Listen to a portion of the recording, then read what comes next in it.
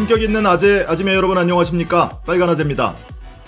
진중권 씨가 형사 피해자가 됐다. 이 소식 많이 접하고 계시죠? 허위 사실로 동양대 장경욱 교수의 명예를 훼손한 혐의로 검찰에 송치가 됐습니다. 이 소식을 접한 많은 분들의 반응은 한마디로 축약하면 쌤통이네. 뭐 이런 반응이 주를 이루는 것 같습니다. 근데 이것이 단순히 동료 교수 간의 분쟁으로 치부할 수 있는 일이냐? 사건이 벌어졌던 시점은 2019년 말부터 2020년 초까지의 일입니다. 당시 조국 전 장관에 대한 수사가 한참 진행되고 그리고 기소 직후까지의 벌어진 일입니다. 이 시기는 정경심 교수가 표창장 위조 혐의로 본격적으로 재판이 시작되던 바로 그 시점과 겹치기도 합니다. 그런데 진중권 교수의 말이나 글은 대한민국 언론이 가장 주목하는 핫한 인물이었어요. 오죽하면 이 당시에 미디어 오늘이 어떤 기사를 냈냐면 진중권 씨의 페이스북이 대한민국 언론계의 핫플레이스다 라는 기사까지 생산을 해낼 정도였습니다. 2020년 1월 한 달 동안만 한 달도 채 안 돼요. 28일 동안 진중권이라고 검색을 하면 무려 2,000건이 넘는 기사가 검색되던 시점입니다.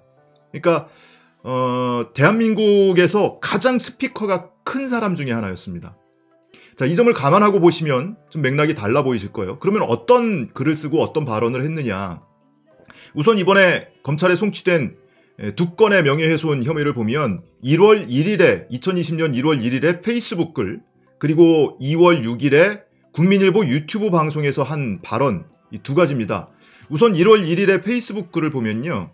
제목이 장경욱 교수의 허위 폭로 1탄이라는 제목으로 썼습니다.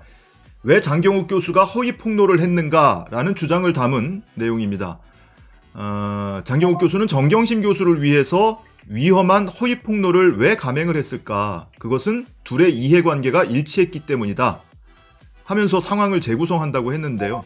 뒷부분에 가서 보시면 이렇게 세팅을 해놓고 이분을 연합뉴스와 연결시켰다. K 교수, 강모 교수를 연합뉴스하고 인터뷰하도록 연결시켰다. 이런 주장을 하고 있습니다. 당시 장경욱 교수가 강 교수에게 전화를 해서 연합뉴스에서 전화가 갈 테니까 다른 매체하고는 하지 말고 오직 연합뉴스하고만 인터뷰를 해라. 라고 했단다.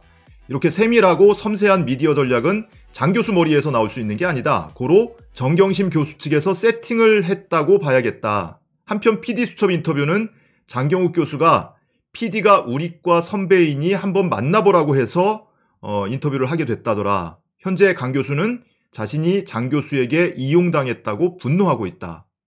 2월 6일에 있었던 국민일보 유튜브 생방송 토론에서도 비슷한 맥락의 발언을 합니다. 이날 국민일보가 이 진중권 당시 교수하고 그리고 김호창 씨, 입시 전문가 김호창 씨하고 둘의 맞짱 토론을 주선을 했습니다. 그래서 100분 동안 생방송으로 이 중계를 했는데요. 어, 여기에서 한 발언은 여러분이 직접 한번 들어보시죠. 동아인대 전체에서 지금 표창장이 진짜다도 아니야. 진짜일 가능성이 요만큼 있다라고 얘기하는 사람이 딱 두 사람이 있는데 그게 이제 장경호 교수하고 K 교수거든요. 이분들 누가 움직였냐면 정정심 교수가 전화를 걸어서 움직인 겁니다. 그 다음에 이게 어떻게 되냐 언론 세팅을 다 했거든요. 연합뉴스 한테 전락이 갈 거다. 그런 다음에 뭐라 그랬냐면 장경호 교수가 다른 언론사 다 끊고 오로지 연합뉴스하고만 인터뷰를 해라. 세팅이 된 거죠. 그러니까 나중에 K 교수는 장경욱 교수한테 이용당한 거죠. 아니 지금 나중에 뭐라 그랬냐면 예. 이, 분이 녹음하는 걸 자기랑 녹음하는 걸 몰, 자기랑 대화하는 걸 몰래 녹음한 걸 깠잖아요. 그래서 이분이 굉장히 화가 나서 전화를 걸었답니다. 장경욱 교수한테. 그래서 뭐라고 얘기를 했는데 따졌더니 뭐라는 줄 알아요? 장 K 교수 당신 나한테 당한 거야 이러더라는 거야.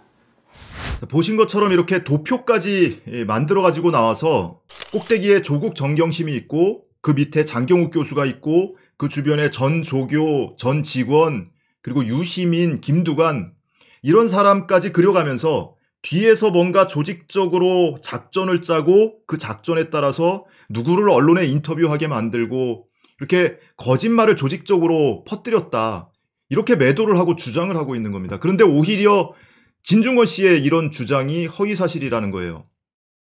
이 이 토론을 방송한 것이 국민일보 유튜브 채널이었습니다. 국민일보 유튜브 채널은 지금도 구독자가 10만이 채 안 되는 그렇게 대형 채널이 아니에요. 그런데 이렇게 100분 동안 토론한 영상이 지금까지 조회수가 47만 회가 나왔고요. 그리고 편집본까지 포함하면 무려 200만 회에 육박하는 조회수를 기록하고 있습니다. 자, 이 두 건 앞서 보신 페이스북 글 한 건 그리고 유튜브 방송 한 건 이 두 건이 기소 의견으로 검찰에 송치가 된 거고요. 이 외에도 어, 장경욱 교수가 고소한 허위 사실이라고 하는 것은 일곱 건이 더 있습니다. 근데 그 일곱 건은 뭔가 사실의 영역이 아니라 의견 표명 또는 주장에 속하기 때문에 예, 불송치 결정이 났어요. 근데 그것이 뭐 진실한 내용이라는 것이 아니고 이것은 사실 적시가 됐든 허위 사실 적시가 아니고 진중권 씨의 개인적인 의견을 주장을 얘기한 것 뿐이다 라면서 불송치 결정이 났는데 그 내용도 한두 가지만 좀 살펴보죠. 우선은 2019년 11월 17일에 진중권 씨가 본인의 페이스북에 썼던 글입니다. 그러니까 한마디로 위조 정황, 정황을 알면서 장경욱 교수가 거짓 폭로를 했다라는 주장을 담고 있는데요. 어, 조국이 장관으로 임명될 것으로 보이자 인터뷰에 나섰다 이런 주장을 담고 있습니다. 그리고 장 교수와 함께 사태를 복귀해 봤더니 그 결과 표창장은 2012년이 아니라 2013년에 만들어졌을 것이다 이런 결론에 도달했다. 그리고 결과적으로 모르고 한 일과 알고 한 일은 다르다. 그러니까 이 시점에 뭐, 음, 장경욱 교수가 표창장이 위조됐을 것 같다라고 생각을 하면서도 그래서 언론 인터뷰를 안 하고 있다가 막상 조국이 장관으로 임명될 것 같으니까 쪼르르 달려가서 언론에 인터뷰를 했다. 뭔가 얻어먹으려고 한 건 아니냐. 이런 내심을 표현하고 있는 거죠. 그리고, 어, 2013년에 만들어졌을 것이라고 결론에 도달했다고 했는데 그것은 혼자 그렇게 결론에 도달한 것이고 장경욱 교수는 이 같은 결론에 동의한 적이 없다는 거예요. 그리고 그 사실은 진중권 씨도 오해하지 않고 있습니다. 이틀 뒤에 올린 본인의 페이스북 글에 실제로 그는 즉 장경욱 교수는 끝까지 그렇게 주장하기는 했습니다. 즉 위조되지 않았다라고 주장했다라는 사실을 본인도 인정을 하고 있어요. 채널A가 11월 18일 장교, 어, 진중권 씨가 이 페이스북 글을 쓴 바로 다음 날, 어, 김진의 돌직구쇼라는 방송에서 앵커가 먼저 이렇게 얘기를 합니다. 장 교수는 앞서 검찰 조사에서 잘 모르고 한 얘기다. 어, 김호준 방송 나가서 한 얘기나 진 교수랑 한 얘기는 내가 잘 모르고 한 얘기다. 라고 해명을 했다. 그러니까 잘 모르는 분이 그렇다면 김호준 방송에서는 잘 아는 것처럼 그렇게 왜 말씀을 하셨는지는 뭔가 많은 사람들이 궁금해할 수밖에 없는 대목일 것 같아요. 라고 얘기를 하고 패널들도 뭐 이게 대국민 사기일 수도 있다. 그러니까 장경욱 교수가 대국민 사기를 쳤다는 거예요. 법무부 장관 임명된다는 걸 알고 그렇게 했을 가능성이 크다. 그러니까 마치 권력에 빌붙으려고 했다. 뭐 이런 얘기를 하는 거죠. 그리고 장경욱 교수 외에도 조국 사태를 기점으로 굉장히 많은 가짜 뉴스가 나온다. 그리고 사이사이에 진중권 교수의 발언을 인용을 하죠. 다음날 방송에서도 채널A 정치데스크라는 방송에서 똑같은 얘기를 하는데 이날은 수위가 더 올라갑니다. 제목 자체가 정경심 두둔하고 발뺌이라는 타이틀을 달고 앵커나 기자나 뭐 구분도 없어요. 교수라는 사람이 방송에 나와서 뻔뻔하게 거짓말했다. 검찰에서 그동안 인터뷰했던 내용이 거짓말이라고 인정한 거 아니냐. 뭐 이런 식으로 계속 어, 공격을 합니다. 그리고 같은 날 TV조선도 어, 마찬가지입니다. 보도본부 한라인이라는 프로그램에서 장경욱 교수가 거짓 인터뷰를 했다. 어, 검찰도 아니에요. 여기는 또 경찰이라고 표현하면서 경찰에 가서 잘 모르고 했던 얘기다 이러면서 발을 뺐다. 이렇게 방송을 합니다. 이 채널A 방송 TV조선 방송은 방송통신심의위원회에서 법정 제재를 받았습니다. 그러니까 채널A TV조선만 사례로 지금 보여드렸지만 수많은 언론 보도가 있었고 이렇게 왜곡된 사실이 마치 사실인 양 기정사실이 돼서 이렇게 확산이 됐던 겁니다. 단순히 장경욱 교수를 비방한 것을 넘어서서 이 조국 정경심 교수 사건 전체에 대해서 왜곡된 인식을 확산시키고 완전히 이 사건을 완전히 진흙탕으로 만들었던 바로 그 결정적인 계기를 제공했던 게 바로 이 진중권 씨였습니다. 자, 이 시점에서 이 피해자이자 고소인이죠. 어, 동양대 장경욱 교수를 전화로 사전 인터뷰를 했습니다. 직접 한번 들어보시죠. 실은 뭐 이게 기간상으로는 2019년 한 11월 한 중하순부터 네. 어 2020년 한 2월 말까지 약 3, 4개월에 거쳐서 쭉 이렇게 반복적으로 그렇게 하셨는데 네. 그 당시에도 언론들이 뭐 이렇게 동료 교수 갈등 뭐 이런 식의 프레임으로 보도하신 분들이 있어요. 네. 근데 제가 그때도 우리가 그런 관계는 아니다. 또 그런 차원에 보지 말아 달라고 했는데 이 건에 대해서도 제가 뭐 살면서 고소를 좋아하는 사람 어디 있겠어요. 근데 네. 제가 개인적으로 뭐 그 입은 그 피해도 있긴 하지만은 오히려 그거보다는 저는 이 건으로 인해서 훨씬 더 정정신 교수와 조국 교수님 그 가족이 재판 과정 혹은 사회적으로 입은 피해가 크다, 더 크다 생각하고요. 네. 또 하나는 우리 사회 자체가 그 입은 그, 어, 치렀던 사회적 비용이랄까? 우리 공론장이 오염됐던 부분이 굉장히 이 부분이 더 주목할 부분이라 생각해서 음. 요건 바로 잡아야 된다고 생각해서 제가 고소를 진행하게 됐습니다. 공론장이 오염됐다라는 건 어떤 취지에서 하시는 말씀인가요? 음, 일단 아까 그 정 교수님 얘기를 했었는데, 네. 어, 정 교수님 입장에서 놓고 보면은 그 당시 굉장히 뭐 저희 동양대 같으면은 그 최성해 전 총장과 또 상관없는 관련 직원들이 여러 가지 불리한 인터뷰나 이런 걸 많이 했던 상황에서 네. 정 교수의 어떤 억울함이나 결백함을 얘기해 줄 사람들이 많지가 않았죠. 그 상황에서 제가 어찌 보면 핵심 메신저라고 할 수 있을 텐데 그런 부분을 할 수 있는 네. 그 핵심 메신저를 공격함으로써 저 말고 나갔던 그 직원이나 조교들 전체에 대해서도 입을 다물게 하는 효과가 있었고요. 네. 그다음 사회적으로도 사람들에게 아 저 사람들이 어, 같은 동양대에 있었던 저 동료, 친구인 저 사람이 저렇게 말을 한 거 보니 그때 나왔던 교수나 직원들은 뭔가 다른 이유가 있어서 음. 뭐한 것 같다라는 굉장히 부정적인 인상이 네. 심어졌는데 음, 이게 꼭 어, 진 교수 본인의 의도는 넘어서는 것 같아요. 언론이 그 부분을 굉장히 키워서 음. 된 면도 있긴 하지만 진 교수 본인도 그 언론에 자신이 갖고 있는 영향력을 알면서 이 부분을 계속 한 부분의 책임은 저는 크다고 봅니다. 음. 근데 이걸 공론장 부분으로 놓고 본다면 어 2019년 9월에 8월 9월 들어서 굉장히 이게 이제 광풍이다시피 그렇게 불러도 손색이 없을 정도로 네. 정경심 교수나 조국 교수님에 대해서 거의 일방적인 의혹 수준으로 공격적으로 보도가 되었단 말입니다. 근데 이게 어, 이 11월부터 2월 말 3월까지의 이 과정은 예, 검찰이 2차 공소장 변경을 해서 2차 그걸 냈고 그 다음에 재판이 진행되고 이렇게 될 무렵이니까 네.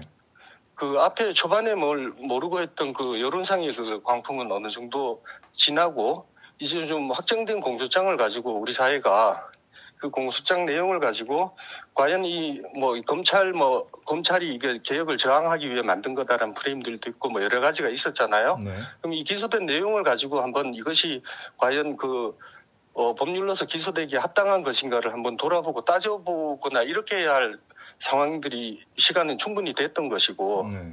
또 하나는 상당 부분이 처음에 사모펀드를 떠나서 입시 부분이 많이 강조가 됐는데 여기에 올라 있는 이 내용들이 과연 이게 그 도덕적으로 지탄할 내용인지 혹은 또 어, 이게 법의 심판대에 서 가지고 따져야 할 내용인지 혹은 당시에 입시 상황은 어땠고 이것이 정상적인 활동이었는지 뭐 이런 부분들을 우리 사회가 돌아보기 위해서는 그런 부분에 전문가들이 나서서 토론을 하고 네. 이것이 사회적으로 국민들이 어떤 사안에 대해서 어, 우리 사회 공정을 정말 제대로 된 공정이 어떤 것인지 누군가 희생양이 되고 있는 게 아닌지 이런 부분들을 돌아볼 수 있는 시기가 다 놓쳤죠. 네.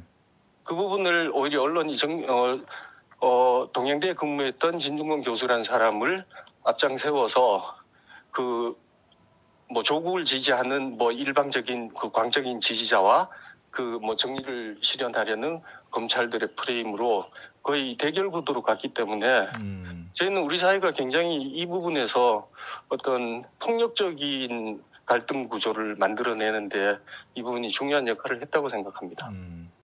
자, 그러면은 앞으로는 이 사건 관련해서 어떤 계획을 가지고 계신지 그리고 어, 혹시 오늘 하고 싶은데 미처 못하신 말씀 있으면 마저 해주시죠. 일단 뭐 이 사건 그 진중근 교수님 관련한 거는 절차에 따라서 제가 뭐 계속 진행할 것이고요. 그다음 이외에 기타 이거 사건 초기에 언론을 통해서 좀 심하게 왜곡되고 뭐 제가 피해를 부분, 입은 부분들이 있습니다. 이 부분들에 대해서도 제가 바로 잡을 수 있도록 좀 노력을 할 계획입니다. 네. 제가 2년 전에 처음 뉴스공장 인터뷰를 할 때, 어, 정 교수가 부당하게 비난을 받고 있고, 자기를 증명하기 어려운 상황에 있다고 말씀을 드렸습니다. 네. 어, 제가 2년간 뭐 1심과 2심, 이, 저희 학교 관련된 그 재판 과정은 쭉 지켜보았고 또 판결도 보았는데 지금에 있어서도 최초에 인터뷰할 때 제 생각엔 변함이 아직 없습니다. 어, 이 부분은 그때 같이 프로그램을 진행했던 동료 교수 두 명과 또 같이 했던 우리 조교와 직원들의 마음도 같은 마음입니다. 네. 이게 앞으로 먼 훗날 역사에 과거 어느 때 법무부 장관 후보자 가족이 입시 부정을 저질러서 처벌을 받았다. 이와 같은 한 문장으로 역사의 기록에 남도록 하고 싶지는 않습니다. 네.